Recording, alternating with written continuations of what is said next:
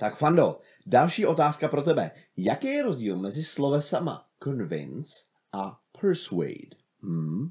Persuade začíná na P a convince na C.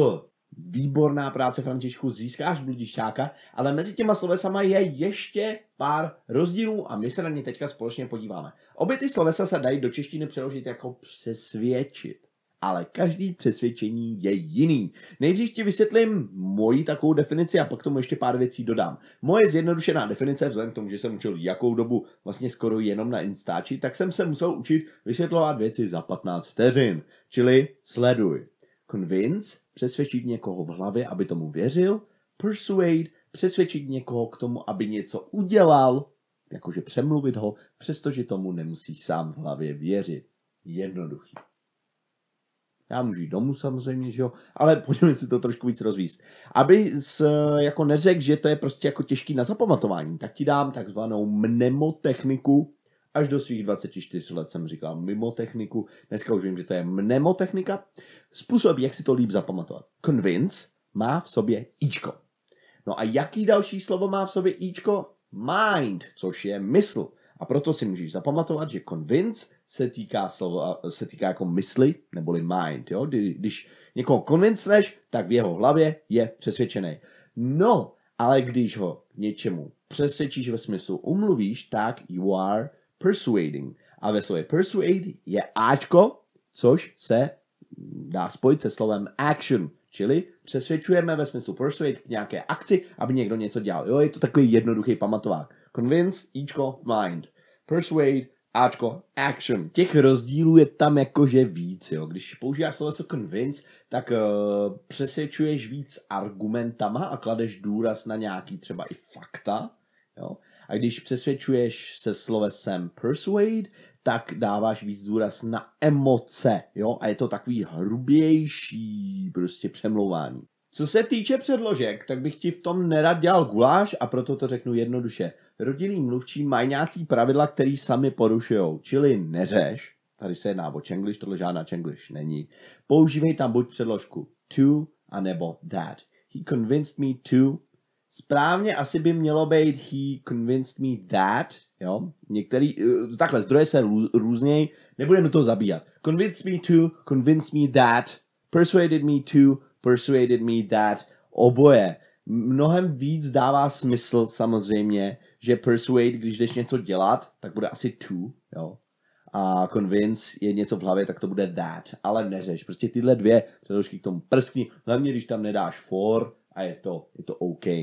Úplně jsem nevěděl, co tady si připravit pro frajery, proto pro tebe mám jenom dvě přídavní jména. Když je něco convincing, tak to je to fakt hustý. Já bych fakt skoro věřil tomu, že to je opravdický George Washington, kdybych nevěděl, že je 200 let mrtvej. Opravdu convincing převlek, more, jo? Ale persuasive je přesvědčivý v tom smyslu, že tenhle borec zatím se bojí mít, protože zase mě ukecá, vole, půjdeme do klubu, špatně to dopadne, zežeru se jak to prase. To jsou krásný příklady, víc ze života, no. Dobrý, takže uh, to, byla, to byla malá část pro frajery a jdeme dál.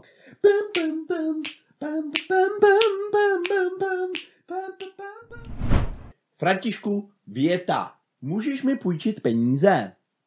Can you borrow me money? Čenglish. Tohle je Čenglish. Není to náhoda, že mluvíš jako degeš.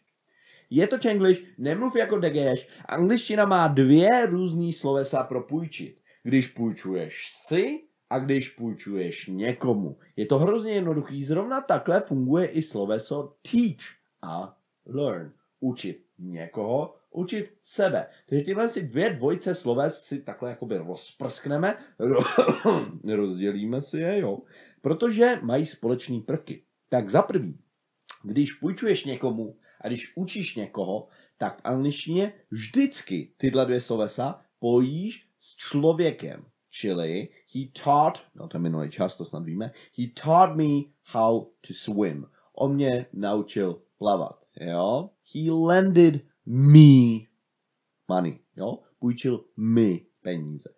A v těchto sloves je to v pořádku. Ale když si vypůjčuješ od někoho, tak nikdy nemůžeš říct borrow me, půjčit mě. To je špatně. Ty druhý dvě slovesa, learn a borrow, se vážou ne na člověka, ale na tu věc. Čili can I borrow a hundred crowns? Jo? Koho co? Tu věc si půjčuje. Nebo can I learn a ne can you learn me. Jo, to nejde. Can I learn how to swim? Takže lend a teach jsou ty dvě slovesa, který jakože někdo někoho učí a někdo někomu půjčuje, jo, a vážou se přímo s člověkem. Teach my friend French kissing, for example. Jo, nauč mýho kamaráda se blablabla, jo. Nebo lend him uh, I don't know, a wallet, půjč mu peněženku, nebo on si nic neveme, jo. A naproti tomu borrow a learn se vážou s nějakou věcí, jo.